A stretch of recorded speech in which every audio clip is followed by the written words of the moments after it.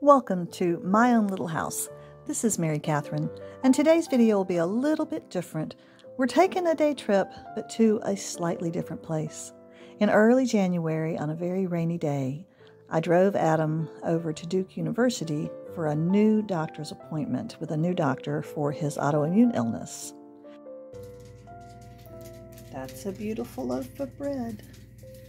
Then later in early March, he went back for an infusion and he baked some this wonderful bread beforehand to take for his snack. Mm.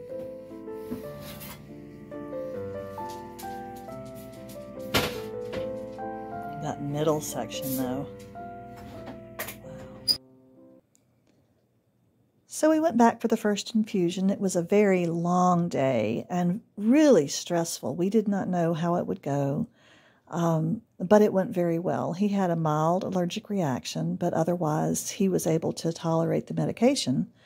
While we were there, I decided to walk around the campus and see the wonderful chapel at Duke. It is gorgeous, and it was a very beautiful day. So here's some footage of that.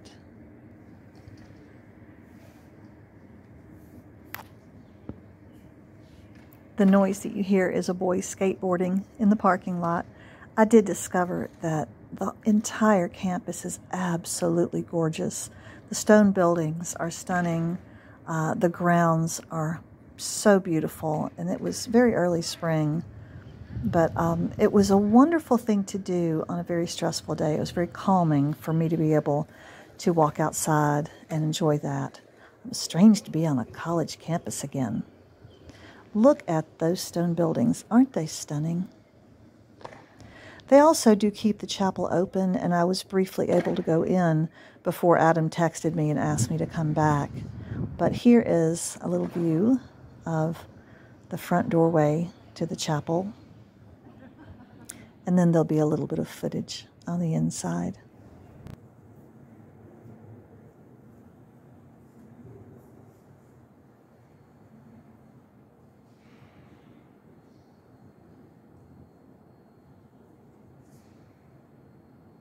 Stained glass windows, vaulted stone ceilings, beautiful lighting, those incredible pillars.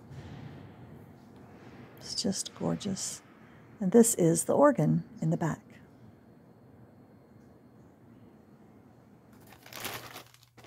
Hello, everybody. Well, I've got a little something to show you today that was very fun to make. I'm not quite finished with it yet. And I didn't come up with this idea on my own. I was watching Kate Jackson on Sunday. Today's Tuesday. Um, I was watching her on Sunday and she was spinning again. I haven't seen her spin on her Ashford traditional wheel in a long time. She was spinning some pink merino. And she was drinking tea and she was showing us her teapot and things. Oh, her channel, if anybody doesn't know about Kate, her channel is called The Last Homely House. And uh, if you do not subscribe to her, you probably would like her. So I'll put, there'll be a link I'll put up here at some point to this video. Because when she was um, showing us her teapot, she had this little pot holder or um, trivet, you know, a, a cloth trivet kind of thing underneath her teapot. And it was, she had spun the yarn.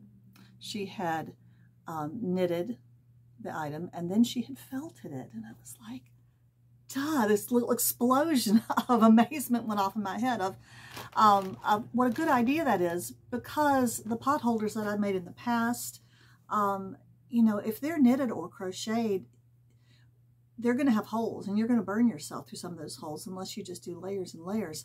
But if you felt them oh my goodness what a brilliant idea that would be and another thing I like about felting something like that is you could use up some wool yarn that you'd spun that you ended up not liking. Well, I had some of that. And, um, and it also really doesn't matter, uh, the stitches don't make any difference because it all felts together into a solid mass of fabric. So I had this yarn that I had done. Uh, I, I just don't like this green. It's a very piney looking green. And I had blended it with some of that um, flame and there's some pink in there. and there's some white in there. Anyway, it's got some, a mottled look to it. It's not terrible, but I didn't want um, a whole, I didn't want a whole sweater or anything made out of it. So uh, my husband had to go for an infusion at the Specialty Infusion Center in at Duke yesterday in Durham, North Carolina. We drove over there and he was there for hours and hours and hours. And so I needed things to do as I sat there with him while he had his infusion. So I knitted this first one. Um, now this is, okay, hang on. This is not any kind of a hard project. Okay, this is actually eight inches without pulling it. It's eight inches across. It's a square, so it's eight inches and eight inches. Well, it's a little bit, yeah, it's close. and I love this pattern. I wrote down this pattern um, from a friend of mine named Judy, and I may have talked about it before. You can make a pot holder out of this. You can make um, a, a doll blanket out of it. You can make a baby blanket out of it. You can make an adult blanket out of it. You can make it as big or as small as you like and you cast on at one corner. I, I think I cast on down here. I don't remember. I cast on with three stitches. Um, just a little, a short tail cast on with three stitches. And you add, to get a square, you add uh, one stitch per row at the beginning of each row. Um, well, the second stitch of each row until, I, I did it until I had 40 stitches across. And then you reduce one stitch per row, same way until you get back down to a point and you tie it off and you have your square. Easy as can be. And if you want to make it really, really long and make it into a blanket, you can. Or if you want it to be this big, you can have a tiny little square. Um, as easy, as easy as can be. Um, I am using, here's my circular needles. These are size 8. I thought that would be a good in-between size. I didn't want it too wholly big because I want it to really felt up. Um, but the yarn is pretty chunky, so I didn't want to use teeny needles. So I'm starting my second one because I do think I've got enough. I didn't have my scale with me yesterday, but I think I've got enough to do one more. So let me tell you what I did. Um, if you want it, if you're not going to felt it and you really want it to have this nice little border around the edge, then the instruction, and I'll maybe I'll type this up and put it in the description. Um, Judy used size 7 knitting needles um, and cotton yarn to make a dishcloth. I've made many of these dishcloths. Um, she just she cast on four stitches. And then she slips the first stitch, she knits the second stitch, she yarn overs the third stitch, and then she knits the rest of the row. And you do this on every row until you get to however, however wide you want it to be. so slip one, knit one, yarn over one, and then knit the remaining stitches. And that's the other thing is there's no purling on this, which is very lovely. Now, what that yarn over gives you is this little hole. It's a, it's a little, little cute little hole design going up both sides of the piece, every other row is how it works. I evidently preferred size 8 needles to size 7. So then you get to the widest spot and you knit one whole row across. I don't think I did that on this, it didn't matter, but that's what the pattern says to do. Knit one row at the widest spot. And then when you start reducing, this is how you do it at the beginning of each row. You slip one, you knit two together, that's your reduction. Then you yarn over, that gives you the little hole again. Then you knit two together, and then you knit the remaining rows, okay? Um, so let me say that again. Slip one, knit two together, yarn over, knit two together, and knit the rest of the row. And you do that until you um, have only, says start each row this way until you have four stitches remaining. Um, then when you have four left at the very end, you knit two together twice on that row. Then you have two stitches left and you knit them together and you're done. So, um, this this has been one of the most useful um, little patterns I've had and now I've got another use for it because I'm going to felt it. And I do think that when I felt this you know it may be a little wonky. Who knows how it's going to shrink? You never know with felting. But all those holes should disappear and it will reduce by about 30% I hope okay so it might be you know something like this big okay which is a really good size for grabbing something out of the oven. I, I don't like something too big because it's floppy and you run a bigger chance of hurting yourself because you can't manage its floppiness. All right, so I'm going to go stick this in the washer with three tennis balls and my felted slippers that I made for myself because they need to be washed again because they need to shrink up. And um, we will see how it turns out and I'll let you know. Well, it's quite a bit later. We won't even say how much later it is, but I figured I'd better show you how that turned out. I actually had to go find this hot pad because I had lost it. I put it in the laundry, the kitchen laundry. So here is how it came out. Now, I don't know if you can see this, but I can look through it and see you. There are, it's not, um, it is felted. All the fibers are joined together beautifully, but it didn't full. It didn't shrink. Matter of fact, where is my ruler?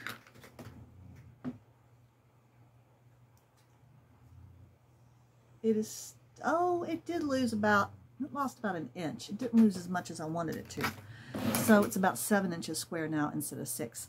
Um, I mean, I'm pretty pleased with it, but I wanted it to go tighter. I have a different washing machine now than I used to have when I was felting slippers.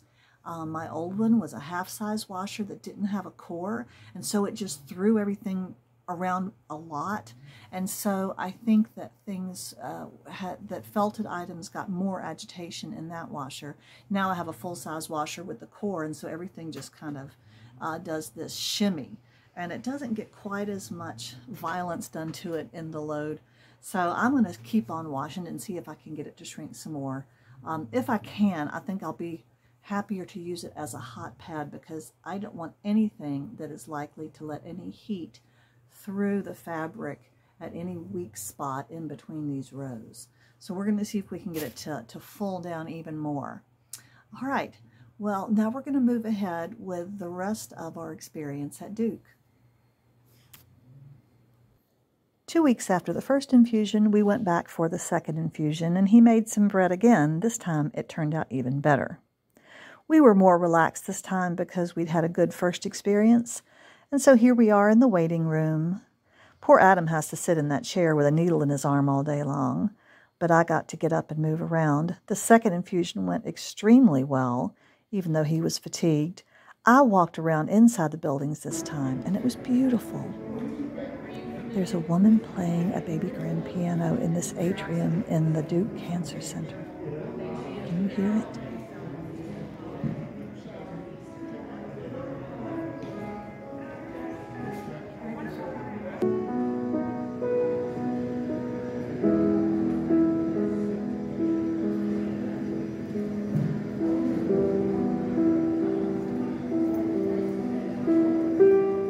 This was also very calming in its own way for everyone.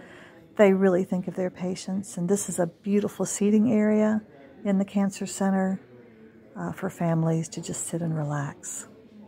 I greatly appreciate what they offer at Duke.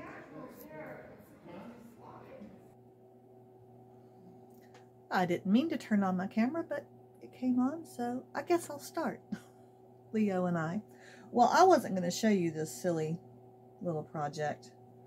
This was a cardboard box that uh, Adam was given some socks at Christmas. Very nice socks, Pendleton socks. And as you would expect from Pendleton, you can kind of see the little bit of the label left in the window. It, yeah, it had this little plastic window in the top and a little magnetic closure.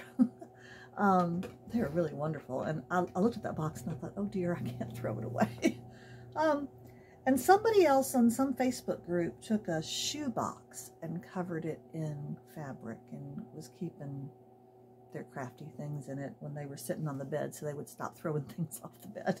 And they even said they put um, fabric on the bottom so it wouldn't slide down the bed. Anyway, I'd been saving this box and I thought, well, yeah, I'll cover it with some fabric. I've got lots of fabric.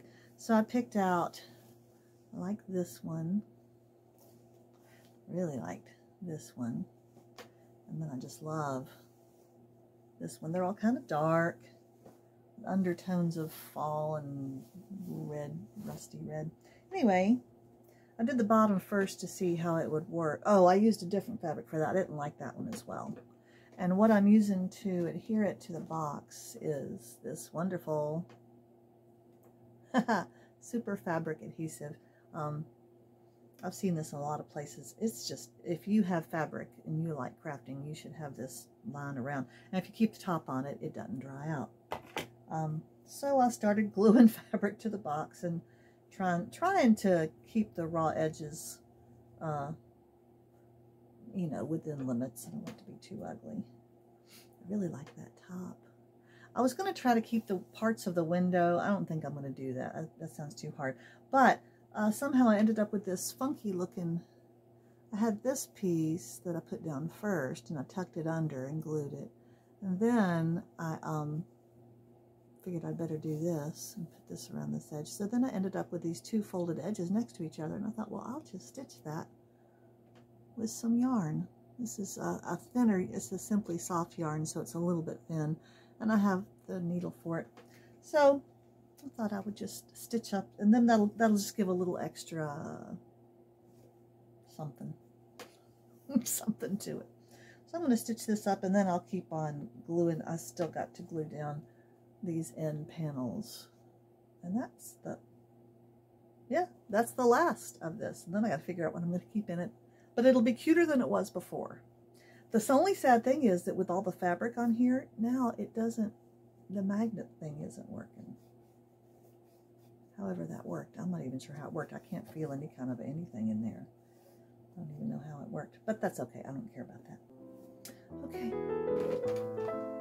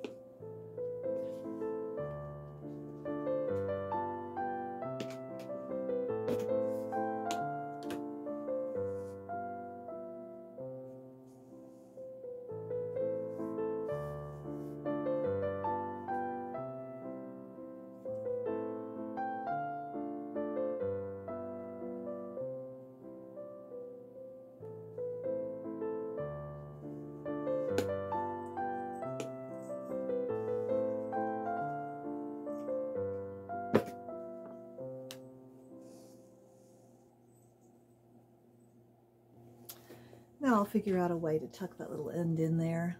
Um, it's not going to be under any pressure, so I think it'll stay in fine. And of course, the reason I'm using this is to save my thumbs and my fingers from having to grab that needle. As we get older, that gets harder, doesn't it? Okay, so now I'll glue the sides down and then figure out what I'm going to do with it. I'm more pleased with this than I expected. Very cute.